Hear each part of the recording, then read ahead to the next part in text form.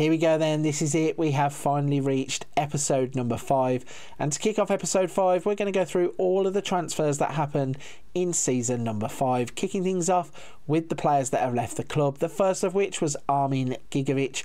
He's a player that we signed quite early on in the save. He's actually wanted to get away for a little while now, couldn't find the right club until Al Fateh came in. They offered us around £20 million, which was a massive profit on what we paid. We took the money and allowed him to go to the Middle East. The only other player to leave was Samuel Nibombe. He's a player that never made it to the first team, was always in our second team. But when you get £4.5 million for players who've never played for the first team, you probably are going to take the money if you can't fit them into your first 11. And that's exactly what happened there. He was allowed to go to Bruges. So with those two players going, and us in the final season, we had money to spend. The first player that we brought in was Filip Stankovic.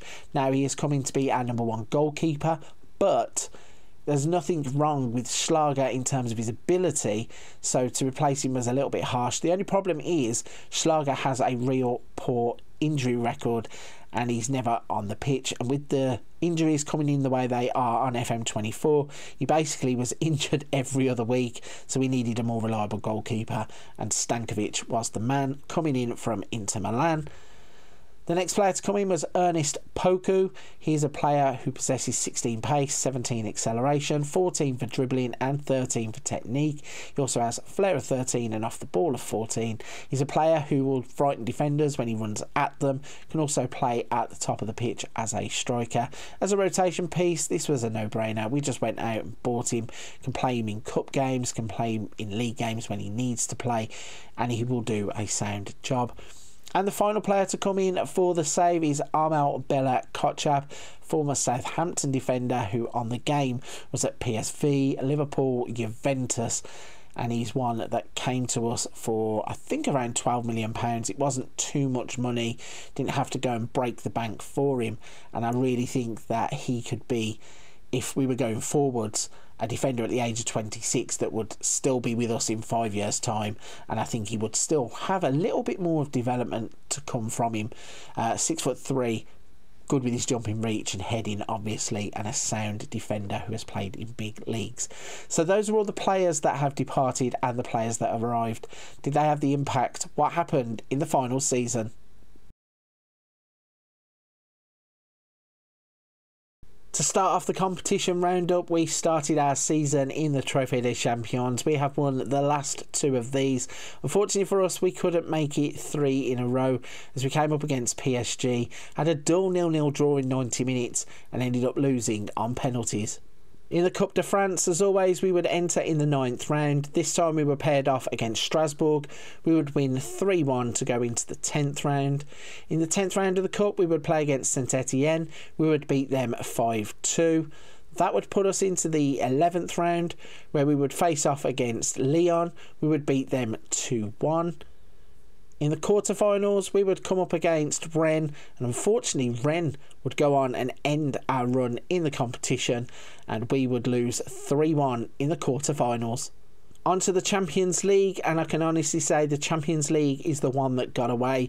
This will be the one regret from this save that I will have because I couldn't string it together to get us to where we needed to be. Once again, you can see we are not in the top places, and that's because we finished in 27th and did not get out of the league phase.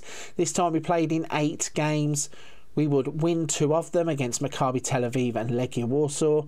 We would draw two against Marseille and Bayern Munich, but we would lose four against Barcelona, Red Bull Leipzig, Tottenham, and Feyenoord. That would leave us on minus four as a goal difference and eight points. FC Copenhagen and the teams above them finished on 10. So it's a case of so close yet so far. As once again, we would go out in the league phase. So that just leaves us with Ligue 1 to look at, and as you can see, we would also fall short in Ligue 1, finishing eight points behind Paris Saint Germain, who would go on to reclaim their trophy after we held it for the past two seasons. If we break down our season, we played 34 games, we won 23, we had eight draws, three losses, had a goal difference of 42 and finished on 77 points. So even though we finished 8 points behind PSG, we finished 8 points ahead of Marseille, who would finish on 69 points behind us. In terms of the player stats for the goals this season, wouldn't have anybody in the top goals. Kylian Mbappe would go on to win that. In terms of the average ratings, PSG would lock out the top three there. In the assists, we had Golovin with 14 and Bardghji with 13 this season, and then we had yellow cards, Moscardo and Schmidt getting 11 and 10. So, disappointing really to see that we couldn't go on and win a third Ligue 1 Uber Eats. And the season kind of gone out with a bit of a whimper. We can still hold our heads high for what we've achieved, but I really would have loved it if we could have just gone that extra little mile in season 5.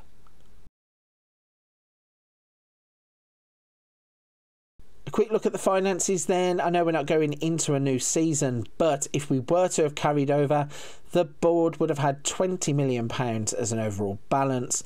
The budget at the club would have been £23.9 million, which again is still crazy considering that's more money than they have. Uh, the wage budget is £1.9 million, and they are spending £1.6 million, so a decent amount there for them to go and sign new players. In terms of the club vision and how we would finish, we'd finish with our job security being secure, a B minus on the final season. For the objectives, work within the wage budget, on course, sign players to sell for a profit, satisfied, spend the original transfer budget, delighted, increase commercial revenue has crept in now because obviously the money that they're getting was coming from transfers, not from winning trophies or from TV deals, those kinds of things. Uh, looking at four year contracts for the first team. By the end of next season, they would want to be competitive in the Champions League, qualify for the Champions League.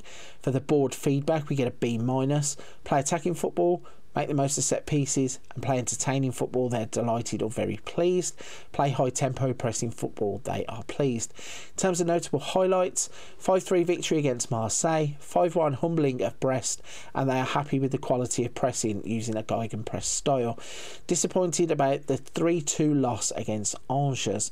In terms of the supporters, so they are disappointed this season about developing players through the youth team. Uh, play attacking football, delighted. Make the most of set pieces, delighted. Play entertaining football, very pleased. Play our tempo pressing, pleased. Finish above Nice and finish above Marseille, pleased and satisfied. In terms of the highlights there, they're pretty much the same. 5 3 victory against Marseille, Roony Bardghji's recent performances, and the 5 1 de- defeat of Brest. Then for the notable criticisms 2 3 loss against Angers and Filip Stankovic's recent performances. So, overall, we have had some decent feedback. Final season, both board and supporters giving us a B minus. What have you got to do to get an A? Because we have won trophies. Okay, we fell short in the final season, but I'm pretty sure we've done better than a B minus. So to round out the series, we're going to have one last look at the first team and starting 11, and I'll also show you the opinion of the assistant manager if we were going forward, what we would play. So to kick things off, I would go with Stankovic in goal, Salisu, Schmidt, who has developed brilliantly as a footballer, Roel and Singo at the back, Moscardo, Golovin, and Johannesson are pretty much a dream three in the middle. Then you've got Rego, who's taken over from Guilherme on the left, Bardghji on the right, and Kusi Asare up top. If we have a little look at Mr. Kusi Asare, we can see he's now valued at 77 to 111 million pounds. When you consider we paid 11.5 million for him, that is some improvement. Looking across the three seasons he spent at the club, then he managed to score 68 league goals in the three seasons. He has a strike rate of 82 in 134 across all of the teams that he has played for. On the season, he actually played 45 games and scored 30 goals in total looking at some of the other players then, Rego, and see how he's developed. He didn't really get too much first team football in across the seasons that he's been with us. He's been with us 23 to 28, played 109 times. Still only 22 years old. There is definitely still some development there. In terms of Roony Bardghji, another one who is 22 years old, he's played 125 times and scored 62 goals for the club. And if we show you that here, the final season wasn't his best. He had a few injuries here and there, which kind of limited him to 32 appearances, 9 goals, 13 assists. But when he was on the pitch, he was influential and is definitely a vital part of this team. In terms of Johannesson and his development, he's an outstanding footballer who at the age of 25 probably won't develop too much more but there is probably a little bit more that could come out in his development then you got Moscardo he's just again the only way I can describe them is fantastic footballers. Age of 22, there is definitely still more improvement to come, and he has played as a midfield general for us.